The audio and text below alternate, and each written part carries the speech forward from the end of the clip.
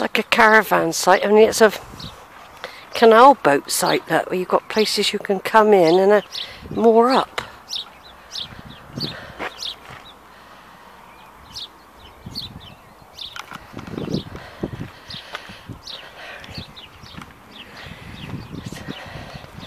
I can't think of a better way of spending the afternoon really, just doing a bit of relaxing. One graveyard. Well,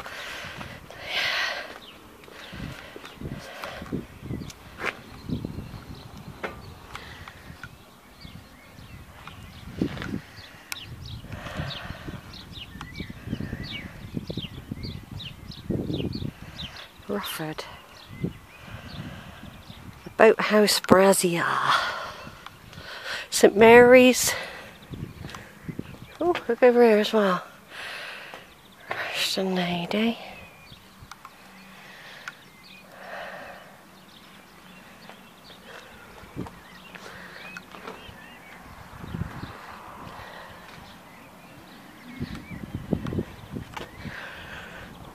Rufford.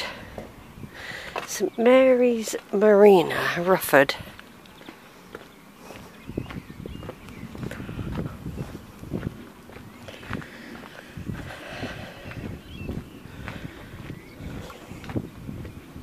Just doing a little video, Zara, just to give you a bit of an insight into. There's Rufford Church. I've got it ringed on the tree, but I don't know who's associated with it because I can't get into my information. But I never found any main names. It could have been somebody further down the tree that had um, married into a family there. I'm going to do a little bit up this side of the canal and then I'm going to do a little bit along the other side going past Rufford Hall. So I'm only doing a bit here.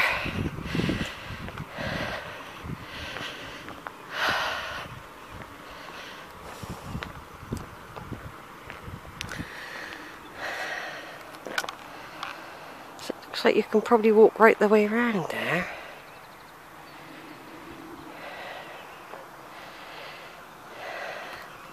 There's a lock.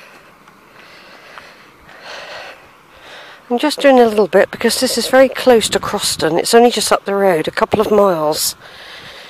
And it would have been known to your family, your ancestors here.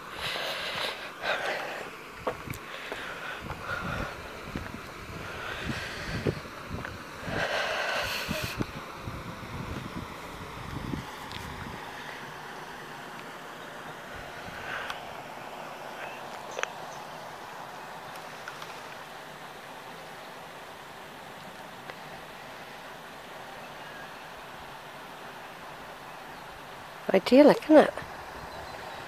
Idyllic.